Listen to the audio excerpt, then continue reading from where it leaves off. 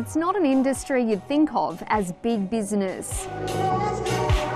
But before COVID, music festivals were pouring almost $3 billion into the Australian economy every year and almost 10,000 jobs.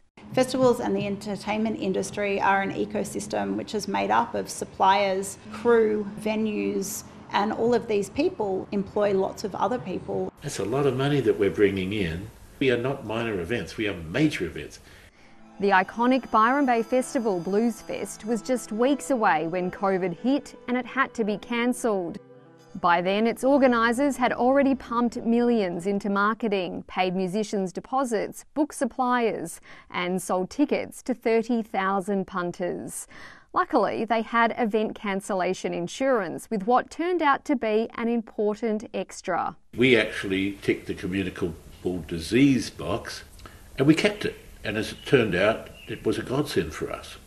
It cost a bit more, but COVID was covered. All it meant was that our, our ticket buyers were insured. And so it, it didn't cover our profit, it didn't cover our creditors, it just covered the fact that our ticket buyers would receive their money back.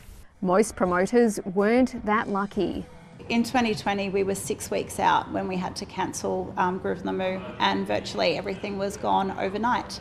The multi city festival tour for young revellers didn't have communicable disease coverage. There was a huge financial loss and emotional loss, to be honest. As borders open back up, major Australian promoters are pledging to get the show back on the road in 2021.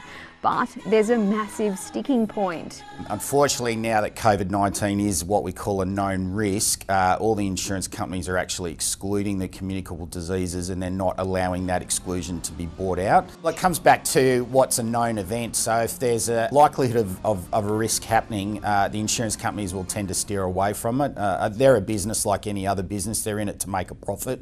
Major insurer Lloyd's forecast the global payout for all COVID claims will reach more than $140 billion. The Insurance Council of Australia doesn't know the sum total of cancellation payouts to major events here, but in a statement it confirmed that insurers that previously provided limited diseases coverage to event organisers have recently begun to change policies to exclude pandemics and other infectious diseases. It's just an uninsurable exposure. Uh, if the promoters are going to run events, they're going to have to look at non insurance ways of protecting that exposure. It's a huge risk. If there's a cluster and you're closed down in your area immediately prior to your event and you can't get insurance, then how do you deal with that? Nobody wants to spend $10 million to find that on the day they can't open their gates. And we've all been through that once. We don't want to be through it twice. Major festival promoters are now so spooked that they're lobbying the federal government to set up an insurance scheme for them, just as it has for the film industry during COVID. And there's another precedent. After September 11, the Howard government set up a scheme for property developers who couldn't get coverage for terror events. We would expect, therefore, the government to strongly consider supporting us in coming back for all the jobs we create, for all the financial turnover that we create. The federal government says it has grant money available to music festivals, but the promoters say they don't need grants, they need a safety net. We can't have two years of not trading. That's, that's something that is just, oh, I just can't imagine who will be left. Just revellers, but nobody to stage the events.